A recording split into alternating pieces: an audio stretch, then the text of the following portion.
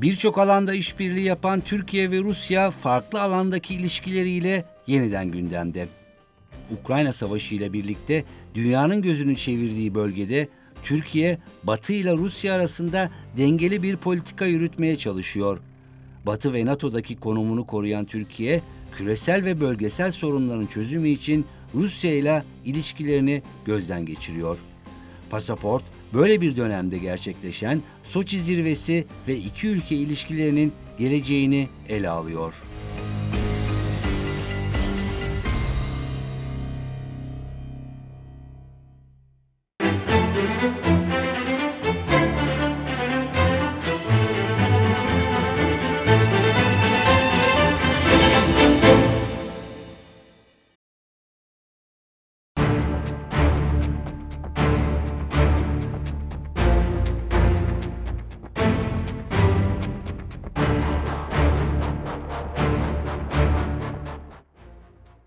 Türkiye-Rusya ilişkilerinde bu ziyaretimizde tahıl koridoru meselesine bakıyorlar. Buradan tahıl koridoruyla ilgili az gelişmiş Afrika ülkelerine yönelik bir adım çok çok önemli olacak. Очевидно, что прекращение реализации сделки не отразилось на глобальных продовольственных рынках. Это я хотел бы подчеркнуть особо, чтобы на этот счет не говорили. Цены на зерновые продолжают снижаться. Физического недостатка в продовольствии Türkiye ve Rusya yıllarca komşu olan farklı alanlarda siyasi ve ekonomik ilişkiler geliştiren iki ülke. Tarih boyunca inişli çıkışlı bir grafik izleyen bu ilişkiler özellikle son 10 yılda en üst noktaya ulaştı. İki ülkenin de farklı konularda birbirine ihtiyacı olduğu biliniyor. Ancak Ukrayna Savaşı ile birlikte Türkiye'nin önemi daha da arttı. Türkiye dünyaya açılma anlamında Rusya için en önemli ülke haline geldi. Son aylarda belli bir soğukluk yaşansa da.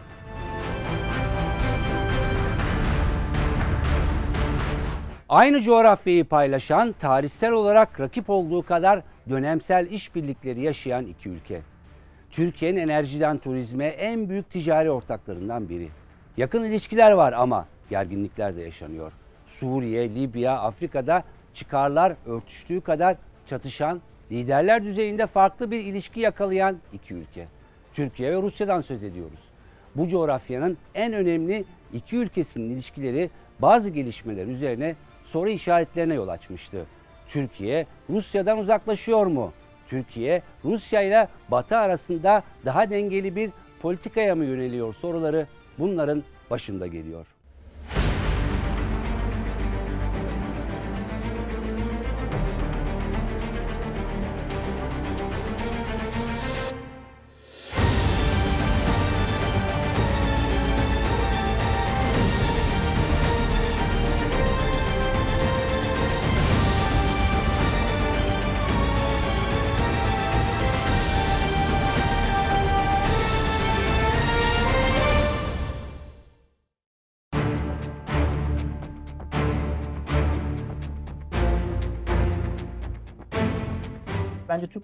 İlişkilerini iki ana eksende değerlendirmek lazım. Bir tanesi siyasi güvenlik, diğer ticari ekonomik.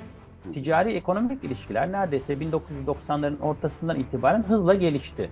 Bu hep bardağın dolu tarafında olan ilişkiler. Buraya baktığınız zaman bir başarı hikayesi, iki tarafı mutlu edecek bir takım gelişmeler görüyorsunuz. Enerjiyi bunun içerisine koyabiliriz, turizmi bunun içerisine koyabiliriz ya da bölgesel bir takım altyapı yatırımlarını bunun içine koyabiliriz.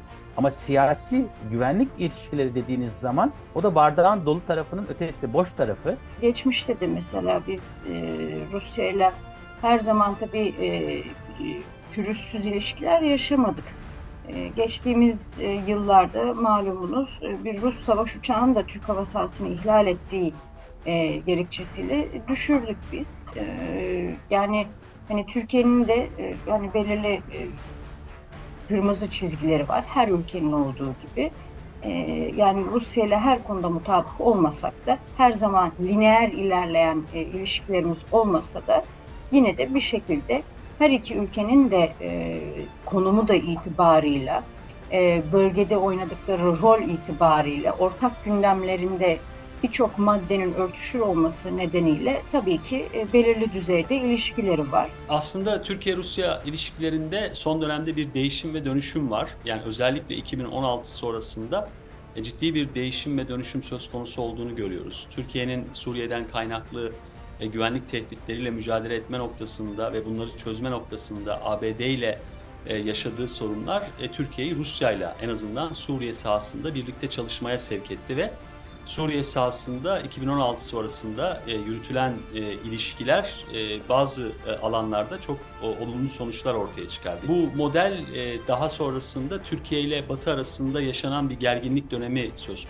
konusuydu bu gerginlik dönemi. O dönemde yine Türkiye-Rusya ilişkilerinin birçok alanda e, sorunları tamamen ortadan kaldırmasa bile e, bazı sorunların daha fazla genişlememesi e, bakımından çalışan bir model ortaya çıktı.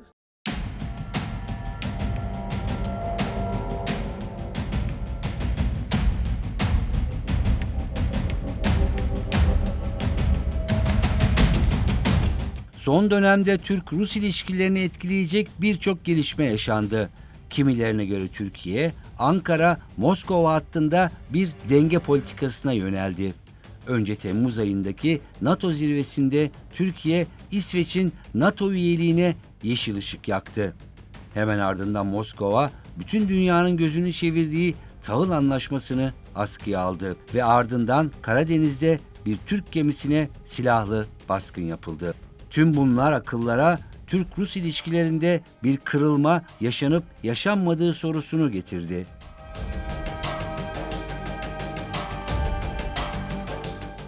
Türkiye son NATO zirvesinde şartlı olsa da İsveç vetosunu kaldırdı. Aynı dönemde Ukrayna'nın NATO üyeliğine destek açıklaması yaptı. Türkiye'nin Kırım'daki pozisyonu zaten çok net. Üstüne Ukraynalı esir komutanların Kiev'e geri dönmesine izin verilmesi Rusya'nın tepkisini çekmişti. Rusya'dan soğuk ve sert açıklamalar geldi. Rus basınında Türkiye'ye yönelik yaklaşım hemen değişti. Bu durum birçok kişi tarafından yeni bir kırılma olarak değerlendirildi. Türkiye son dönemde Batı ile Rusya arasında daha dengeli bir politikaya yönelmiş gibi.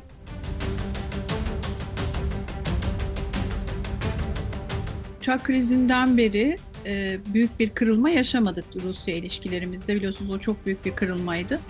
E, ancak son dönemde Sayın Zelenski'nin Türkiye ziyareti ve akabinde Azov taburundan 5 kişinin gönderilme kararı e, ve hemen arkasından gerçekleştirilen NATO zirvesindeki e, Türkiye'nin özellikle İsveç'in üyeliğine yönelik e, olumlu tavrı Rusya açısından Rus basında tepkiyle karşılandı. Soçi zirvesi son derece olumlu geçti. Türkiye'ye gelmesi bekleniyordu aslında e, Sayın e, Putin'in. Bunu belki bir güvenlik meselesi olarak addetti ya da e, Türkiye'ye olan belki kırgınlığından dolayı böyle bir yol tercih etti diyebiliriz. Ticaret, tarım, turizm, ekonomi ve finans gibi çok boyutlu işbirliklerini güçlendirmesi yönünde önemli adımlar atıldı. E, Rusya ile e, Arasında şu an herhangi bir kırılma gözükmüyor. Rusya'dan, Rus kamuoyundan ya da medyasından Türkiye'ye bakış daha sert aslında çok yansıtılmasa da. Burada siyasi liderler ve ekonomik ticari ilişkiler bunu baskılıyor. Dolayısıyla Türkiye söz konusu olduğunda sürekli olumsuz haberlerle karşı karşıya kalıyoruz. Ee, bizdeki kadar Rusya pozitif yazılar, Türkiye pozitif yazılar olarak Rus medyasında ya da kamuoyunda gözükmüyor. Ee, ama son dönemin ilişkilere baktığımızda Türk-Rus ilişkilerinin siyasi güvenlik boyutunu dalgalandıran aktör bence Rusya. Yani bu ilişkilerin geleceğe dönük daha pozitif bir gündemle gelişebilmesini sağlayacak şey Rusya'nın tek taraflı politikalarında ve güvenlik yaklaşımlarında biraz daha bölgesel dengeleri kollayacak bir söylemle hareket etmesi zorunluluğu var. Ukrayna Devlet Başkanı'nın Türkiye'yi ziyareti, e, Azov taburu komutanlarının e, Ukrayna Devlet Başkanı Zelenski ile beraber e, onun uçağında Türkiye e, Ukrayna'ya dönmüş olması, ondan sonra Türkiye'nin Ukrayna'nın NATO üyelik sürecine e, destek beyanında bulunması. E, daha sonra da e, Sayın Cumhurbaşkanımızın Türkiye-AB üyelik sürecine yönelik açıklamaları. Rusya'nın şöyle bir refleksi vardır. Hemen bazı şeylere tepki vermez bilahare tepki verir. Yani bu, bu, bu geçmişten bu yana bu şekildedir. Hemen sıcağına sıcağına değil ama zaman geçtikten sonra bir tepki verir.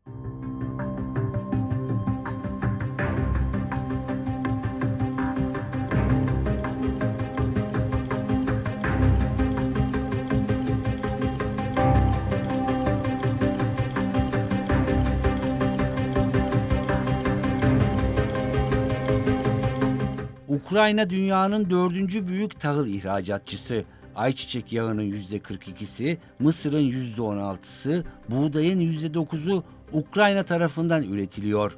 Dünyanın en büyük buğday ihracatçısı ise Rusya. Ukrayna ve Rusya Afrika'nın buğday ihtiyacının %40'ını sağlıyor. Afrika Kalkınma Bankası'na göre savaş nedeniyle Afrika'da 30 milyon ton gıda açığı ortaya çıktı. Bu gıda fiyatlarında kıtada %40'a yakın artışa neden oldu. Gıda krizinin önüne geçmek amacıyla Temmuz 2022'de Birleşmiş Milletler ve Türkiye'nin aracılığında Tahıl Koridoru Anlaşması imzalandı. Anlaşma Rusya'nın savaşına rağmen yaklaşık 36 milyon ton tahıl ve diğer ürünlerin 3 Ukrayna limanından güvenli bir şekilde çıkmasına izin veriyordu.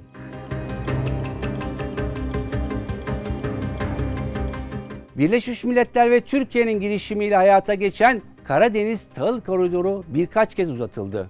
Bu uzatmada Türkiye'nin payı büyüktü.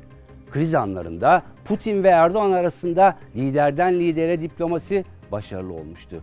Ancak bu kez Rusya anlaşmayı iptal etti. Şartlarının yerine getirilmesini istedi. Batı'yı suçladı. Türkiye Rusya'nın tavrına hak veriyor ama bir an önce anlaşmaya dönülmesi için formüller üretiyor. Çünkü tahıl koridorunun işlemesi dünya açısından çok önemli.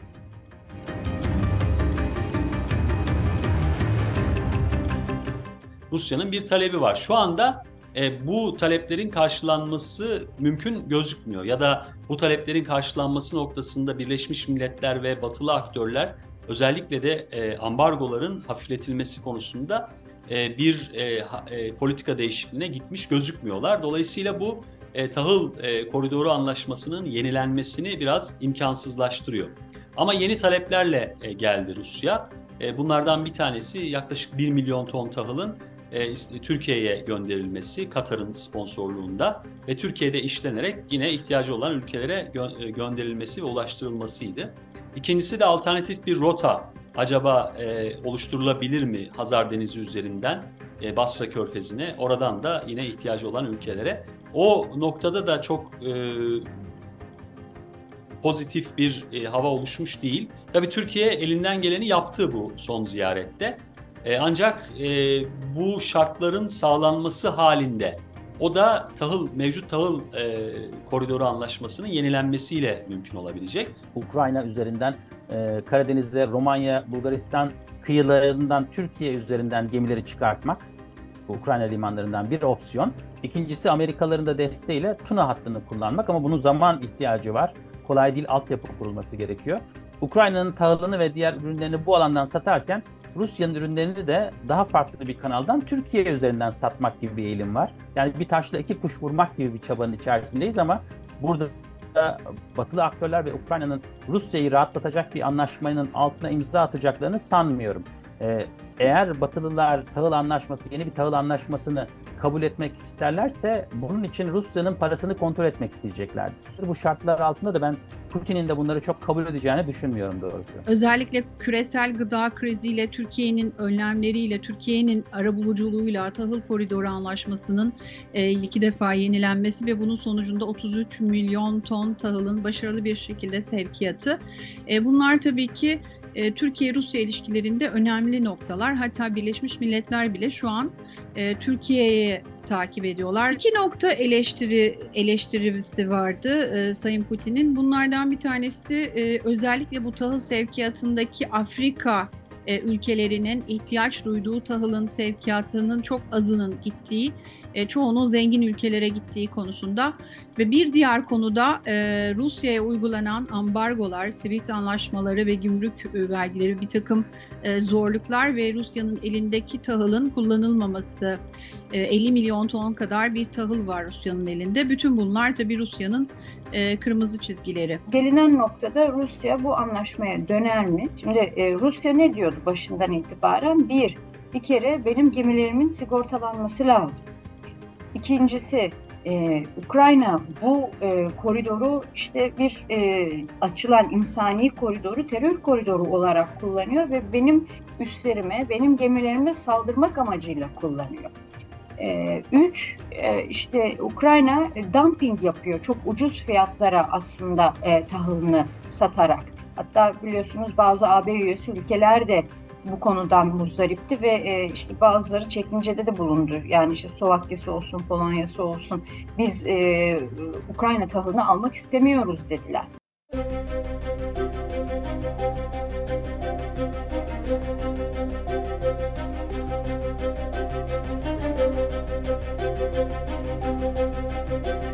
Cumhurbaşkanı Erdoğan'la Rus lider Putin'in yüz yüze görüşmesi uzun süredir beklenen bir gelişmeydi. Ancak Rusya'dan kaynaklanan nedenlerden dolayı görüşme Eylül ayında gerçekleşti.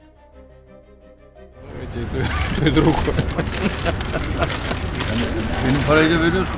За меня тоже заплатите, да? Да, заплачу, конечно. Так ты же гость. Siz misafirsiniz, tabii ki vereceğim.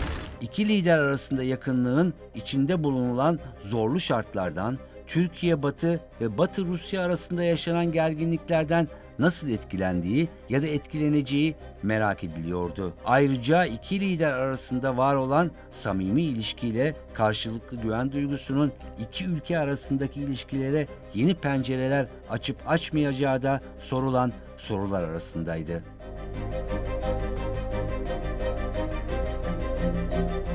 Son yıllarda en çok görüşen iki lider Erdoğan ve Putin. Çünkü Türkiye coğrafya olarak son dönemdeki sorunların tam da ortasında. Suriye'den Ukrayna'ya kadar. Bu sorunların hepsinde de iki ülke kesişiyor. Karadeniz, Boğazlar, Türkiye'nin Ukrayna ile ilişkisi bu durumu daha da önemli hale getiriyor. İşte böyle bir dönemde iki liderin yeniden bir araya gelmesi, çözüm için çaba göstermesi önemliydi. İkili ilişkilerde sorun yok ancak tahıl koridoru gibi konular için zaman gerekecek gibi.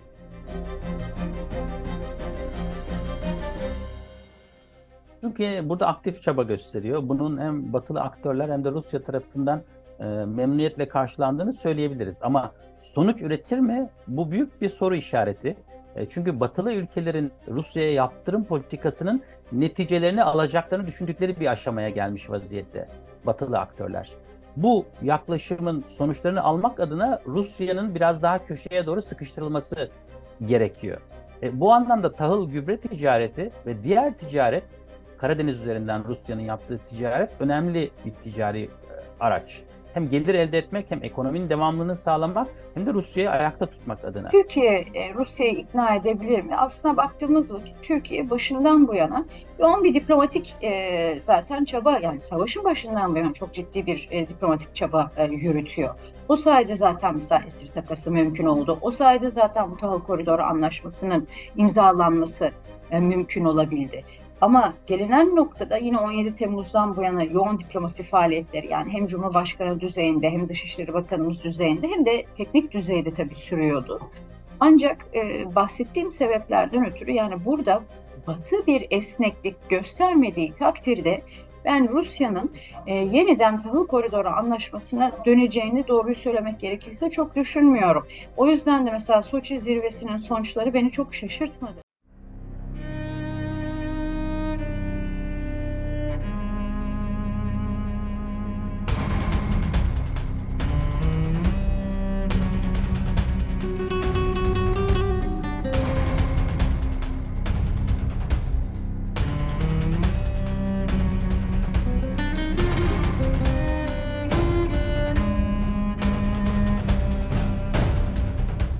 Osmanlı-Rus, Türkiye-Sovyetler Birliği ve Türkiye-Rusya ilişkisi tarihi boyutlarıyla birbirinin devamı niteliğinde.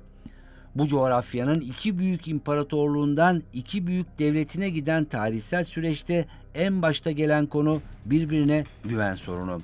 Bu nedenle taraflar ikili ilişkileri ticaret ve enerji konuları başta olmak üzere siyasi ve güvenlik konularından uzaklaştırarak ilerliyorlar. Yani iki ülkenin de hassas olduğu sinir uçlarına dokunmadan.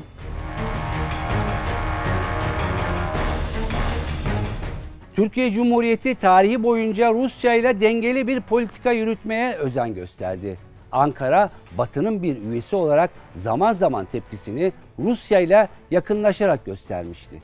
Son yıllardaki gelişmeler iki ülkenin farklı alanlarda işbirliğiyle sonuçlandı. S-400'lerden Suriye'deki birlikteliğe kadar Tabii ki ülkenin çıkarları hem çakışıyor hem de çatışıyor. Ancak Türkiye her koşulda Batı ile Rusya arasında bir denge tutturmaya özen gösteriyor.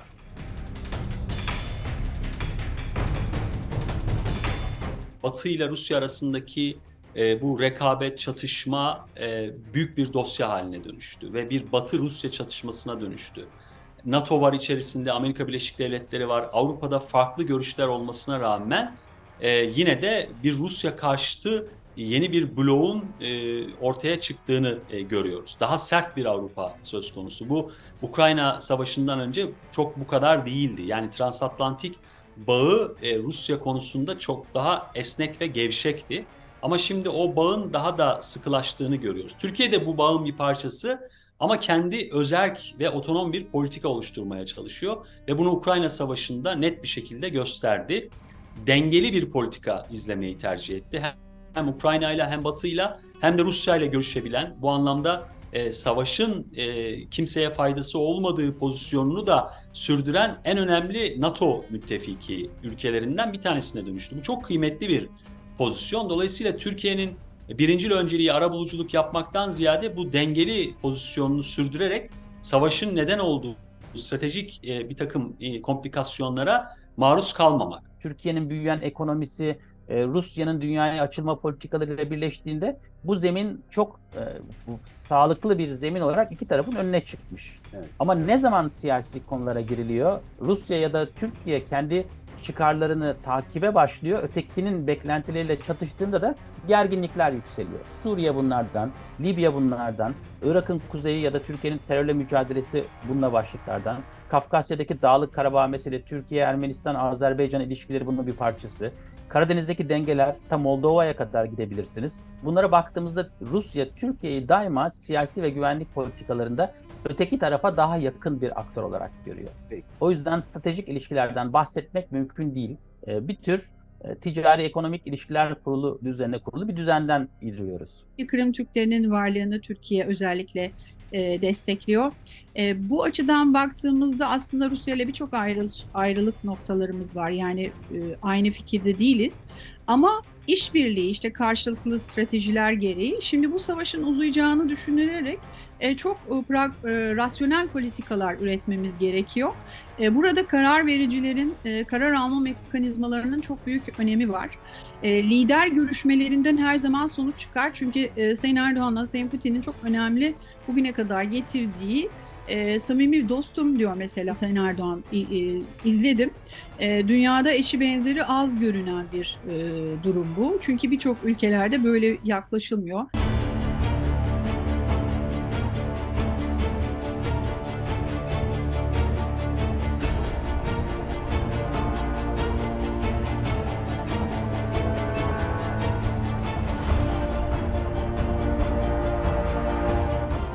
Yorumculara göre Türkiye'nin son dönemdeki adımları Putin'in çok hoşuna gitmemişti. Ancak Ankara Rusya'nın içinde bulunduğu sıkışmışlığı biliyordu. Nitekim Moskova bazı serzenişler dışında çok fazla adım atmadı.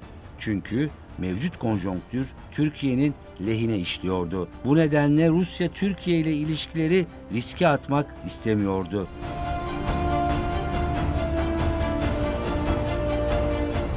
Türkiye-Rusya ilişkisinin iki boyutu söz konusuydu. Birincisi ikili ilişkiler, diğeri ise küresel sorunlar. Bu iki boyut iki ülkenin ilişkilerini canlı tutuyor. Bu durum karşılıklı ihtiyaçtan kaynaklansa da ibre özellikle küresel boyut açısından Türkiye'den yana denilebilir.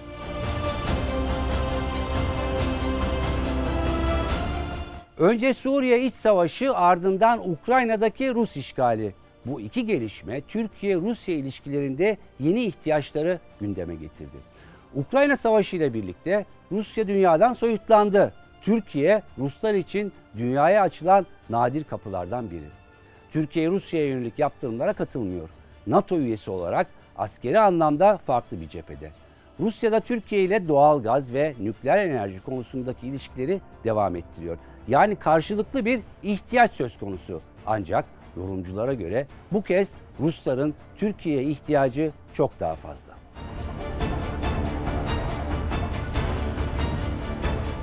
Ukrayna Savaşı'ndan sonra bence Türkiye ile e, Rusya arasındaki e, o karşılıklı bağımlılığın Rusya lehine olan tarafında bir e, azalma ve bir değişiklik söz konusu oldu ve karşılıklı bağımlılığın iki taraf açısından da eşitlenmesi gibi bir duruma doğru gidiyoruz. Elbette Türkiye hala doğalgaz e, e, ithalatı bakımından Rusya'ya bağımlı gözüküyor. Alternatif enerji kaynakları olmakla birlikte bu son derece önemli. E, ama Rusya'nın da e, Türkiye'ye bu noktada e, ihtiyacı var. Eğer Putin'in ortaya koyduğu e, Türkiye'nin gaz konusunda merkez ülke olması politikası hayata geçerse o zaman bu karşılıklı e, e, bağımlılık çok daha dengeli bir noktaya ulaşacaktır. O zaman Türkiye en önemli e, alternatif e, gaz e, e, ithalatı noktasında ve ihracatı noktasında e, kritik ülkelerden birine e, dönüşecektir. Baktığımız vakit özellikle savaş sonrasında Türk-Rus ilişkileri biraz daha dengeli bir e, noktaya geldi. Çünkü daha evvelden Rusya lehine e, asimetrik bir ilişki vardı. Öyle ya da böyle bunu hani özellikle enerji bağlamında değerlendirecek olursak.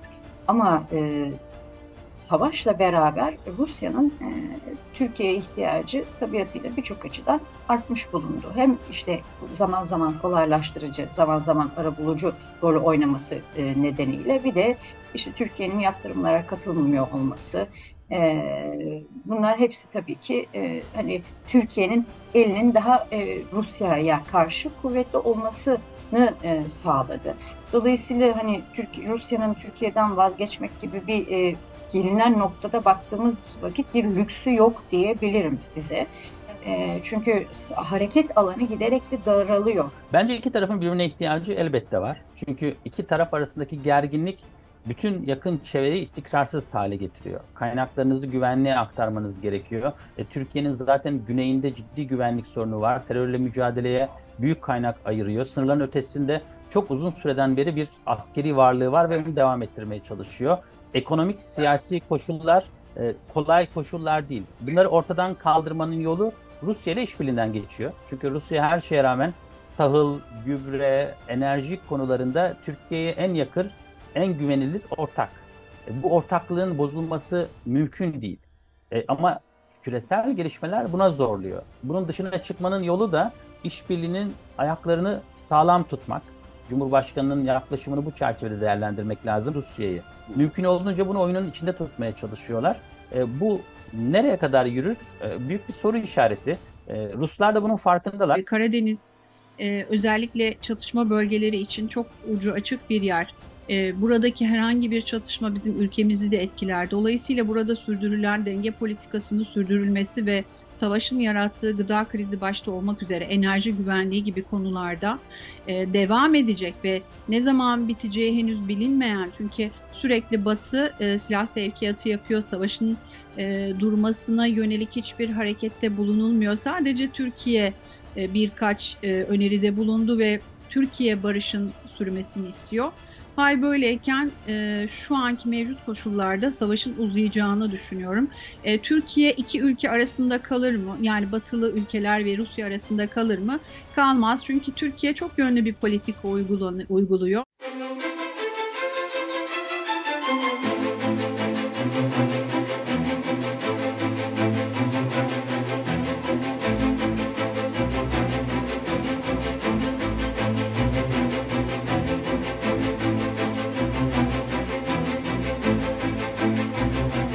Türkiye-Rusya ticari ilişkileri 2022 yılını zirve yaparak kapadı. 2021 yılını 34 milyar dolar seviyesinde kapatan ikili ticaret hacmi 2022'de 68 milyar dolara çıktı. Türkiye'nin Rusya'dan ithalatı neredeyse 60 milyar doları buldu. İki tarafın 10 yıl önce belirlediği 100 milyar dolar ticaret hacmi hedefi ise hala gündemde. Öte yandan Rusya'nın Türkiye'yi bir enerji merkezine çevirme önerisi çok önemli.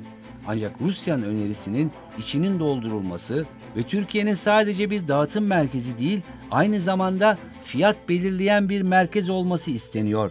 Bu arada nükleer santral konusundaki işbirliği ise tüm hızıyla sürüyor.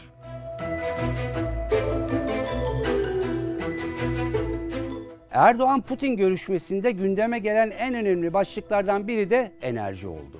Tabii ki Rusya bunu daha da öne çıkarıyor. Çünkü Rusya Türkiye'yi yeni gaz projeleriyle yanına çekmek istiyor.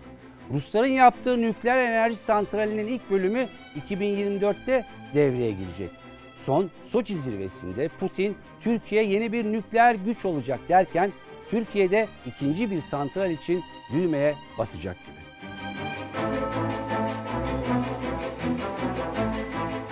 Batılı aktörlerin Rusya ile ticari enerji bağlamındaki ticari ilişkileri askıya alınmış vaziyette. Özellikle doğalgaz ticareti durmuş gibi gözüküyor. Bu anlamda Türkiye dışında Rusya'nın büyük müşterisi Avrupa pazarında yok. Ee, Rusya'nın e, Türkiye altyapı bağlamında bir hub olma altyapısına şu anda da sahip. Yani hem doğudan hem güneyden hem kuzeyden gelen hatlarla Türkiye üzerine ciddi miktarda doğalgaz akışı sağlanıyor. Buradaki sorun Mete Bey acaba bu kaynakların batılı pazarlara nasıl akacağı meselesi. Altyapı kurulmuş vaziyette. Sorun şu, bu kaynakları Türkiye üzerinden Avrupa pazarına satmak mümkün mü? Şu şartlar altında bu mümkün değil. Dolayısıyla e, Türkiye'nin dışında Rusya'nın Avrupa ile ilişkilerinde bir takım dönüşümlerin yaşanması gerekiyor. Bu yaşanmadığı sürece Türkiye'nin hub olması söylemi Rusya açısından e, bence ayakları yere basmayan bir söylem ama Türkiye-Rusya ilişkileri açısından pozitif. E, benim e, öngörüme göre iki ülke arasındaki ticaret hacminin artırılmasının dışında e, Sinop'un da nükleer bir enerji santrali haline getirilmesi Akkuyu'ya ilaveten e, yine Türk Akım biliyorsunuz o da çok önemli bir anlaşma. Hem enerji konusunda hem de e, diğer konularda çok e, bir Türk akım var zaten bizim Rusya ile gerçekleştirdiğimiz. E, Rusya'nın Avrupa'ya gaz akışını sağladığı Kuzey Akım bir anlaşması var. Aslında en uygun Rusya'nın elindeki enerjinin enerji nakil hatlarının işleme koyup Rus gazının dağıtılması. Türkiye bu alana çok ciddi bir yatırım yapmış durumda ve Rusya şu anda ikinci nükleer tesisin inşa edilmesi, sivil enerjiye ulaşmak bakımından en önemli aktörlerden bir tanesi. Bu Türkiye'yi e, orta ve uzun vadede çok rahatlatacak bir e, durum ortaya çıkaracak. E, burada da Rusya'nın kritik ve stratejik bir ülke olduğunu, bu alanlarda yapılan işbirliğinin de iki ülkenin e, ilişkilerinde daha yapısal bir çerçeve oluşturabileceğini, daha istikrarlı bir ilişkiye, daha kurumsallaşmış bir ilişkiye dönüştürebileceğini ben düşünüyorum.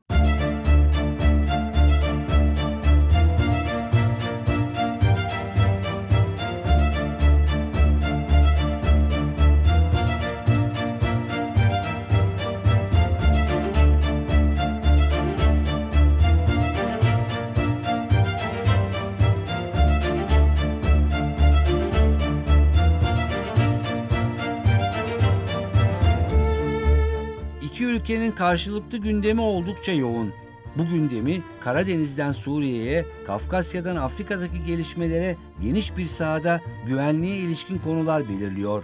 İki başkent kimi zaman karşılıklı ticareti öne çıkararak diğer konulardaki çelişkileri geriye bırakıyor.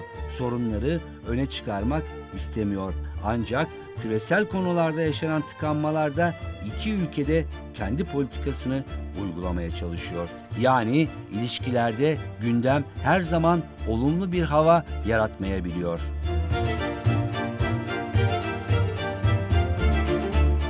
Türk-Rus ilişkileri ikili ilişkiler dışında yakın ve uzak coğrafyada farklı düzeylerde sürüyor. Suriye'de iki ülke belli noktalarda birlikte hareket ederken ayrı düştükleri noktalar da var. Libya'da iki ayrı cephedeler. Afrika'da ise iki ülkede etkisini arttırmak istiyor. Güney Kafkasya'da Türkiye etkisi artıyor. Türkiye Ukrayna'ya askeri destek veriyor. Ruslar bundan pek memnun değil. Karadeniz'in güvenliği en önemli başlıklardan da birisi.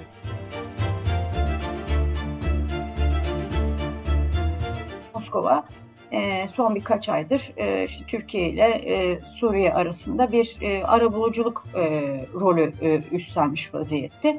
Buna bilahare İran da katıldı.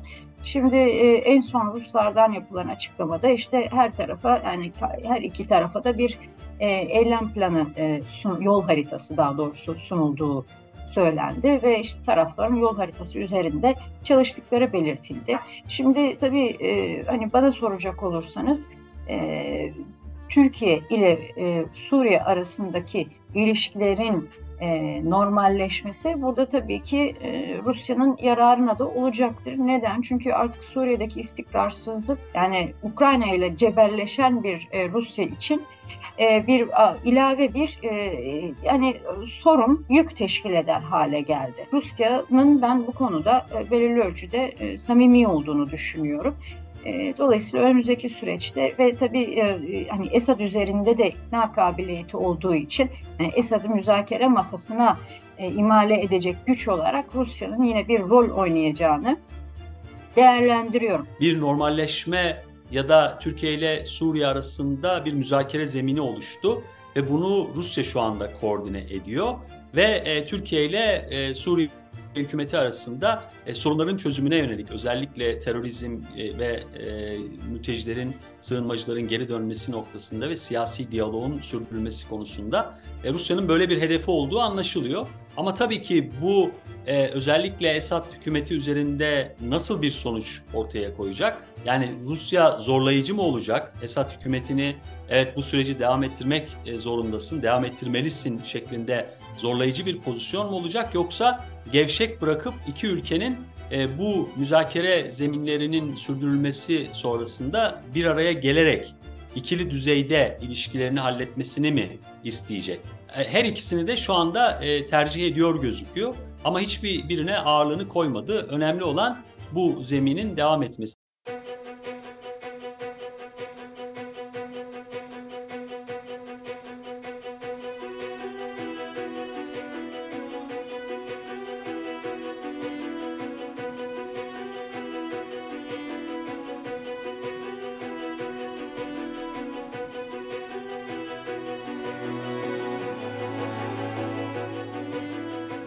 Yorumculara göre Türkiye-Rusya ilişkileri bir süredir ikili ilişkilerden daha büyük ve temel bir takım bölgesel ve küresel siyasi ve güvenlik konularının baskısı altında bulunuyor.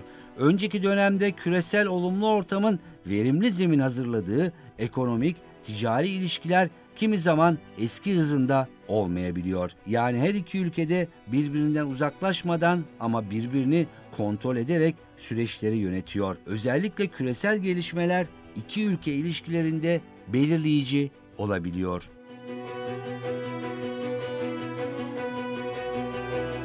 Türkiye'nin Rusya ile ikili ilişkisinin yanında Türkiye'nin dünyaya yönelik politikası da söz konusu. Ticaret, turizm, enerji gibi konular Türkiye'nin devam ettireceği ilişkilerden. Dünya ise Türkiye'nin Rusya'yı tahıl meselesi konusunda ikna etmesini bekliyor. Yani Türk-Rus ilişkileri böylesine ikili bir boyutta gidiyor. Bu ilişkide tabii ki Türkiye bir Batı üyesi ülke olarak çıkarlarını önceliyor. Rusya da ilişkilerini kendi çıkarları çerçevesinde sürdürmek istiyor.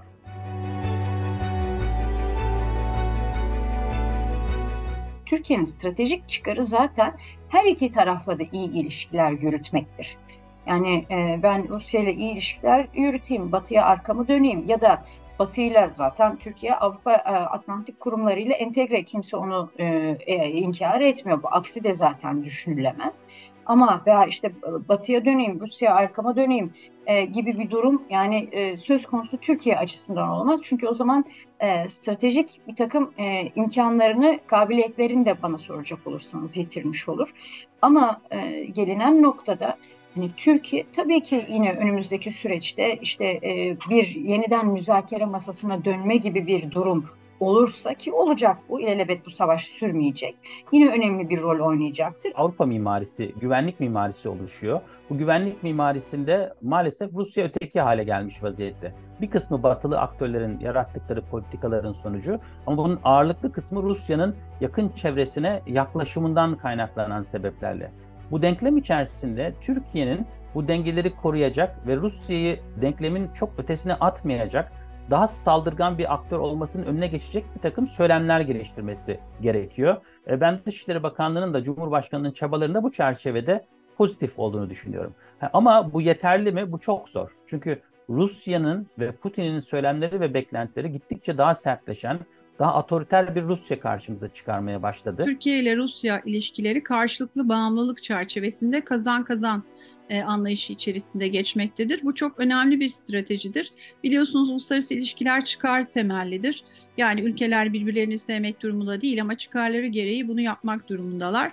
E, Türkiye, Rusya özellikle enerji monopolini elinde tutan bir ülke konumundadır. Şimdi Rusya bu gücünü kullanıyor. Enerji monopoli, enerji e, santralleri, özellikle doğal gaz, petrol, e, geçiş noktaları, geçiş güzergahları. Ukrayna'da işte bu açıdan aslında Rusya açısından önemli. Türkiye'nin özellikle Trak Trakya bölgesinin bir hub olarak e, enerji dağıtımında hem alıcı hem verici hem tedarikçi anlamındaki bu projenin 3 e, ay gibi kısa bir sürede e, tamamlanacağı da öngörülmüştü Enerji Bakanımız tarafından. Dolayısıyla böyle bir şeyin olması Türkiye'nin e, çok önemli kazanımları açısından mühimdir. Bu savaş uzun bir savaş olacak. Bir yıpratma savaşına dönüşmüş durumda. Türkiye için şu anda önemli olan savaşın daha fazla tırmanmasını engellemek ve mümkünse bir zemin oluşturabilmek. Çünkü özellikle Karadeniz'in güvenliği ve istikrarı, savaşın Karadeniz'e taşmaması e, çok çok önemli. E, bu yıpratma savaşı devam ettiği sürece tabii ki e, Türkiye'nin tam bir strateji geliştirmesi de çok mümkün olmuyor. Ama Türkiye her türlü senaryoya hazırlıklı olmak durumunda.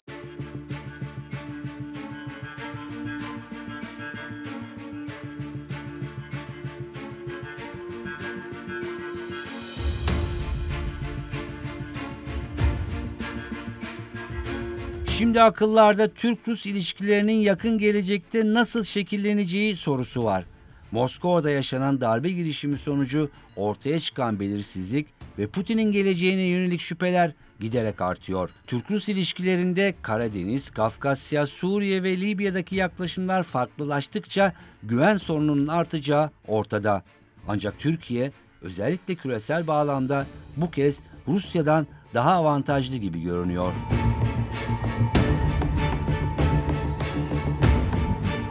Türkiye'nin şu anda izlediği politikanın ben Rusya politikasının doğru olduğunu düşünüyorum. Yani bu kadar büyük gerginliğin olduğu bir zeminde Türkiye, Ukrayna ile ve diğer bölgesel aktörlerle ilişkilerini korur ve NATO iş şemsiyesi altında güvenlik politikalarını devam ettirmeye, e, aksatmadan yürütmeye devam eder. Bu doğal olanıdır. E, mesele Rusya ile ilişkileri de bu çerçevede yürütmekten geçiyor. Türkiye'nin önünde e, kritik bir süreç var. Çünkü bunu hep başından beri söylüyorduk. Savaş uzadıkça Türkiye'nin hem hareket sahası daralacak hem de e, hani e, bu müzakereleri yürütme konusunda belirli zorluklar yaşayacak diyorduk. Nitekim bu noktaya da gelindi ama yine biz her zaman e, diplomasiden yanayız, barıştan yanayız. E, dolayısıyla Türkiye hem Ukrayna nezdinde hem de Rusya nezdinde e, diplomatik çabalarını yürütecek. Bir yandan da tabiatıyla NATO üyesi olmasının getirdiği görevleri yerine getirecek. E, Batı ile de bilhassa Amerika ile de temaslarını sürdürecek.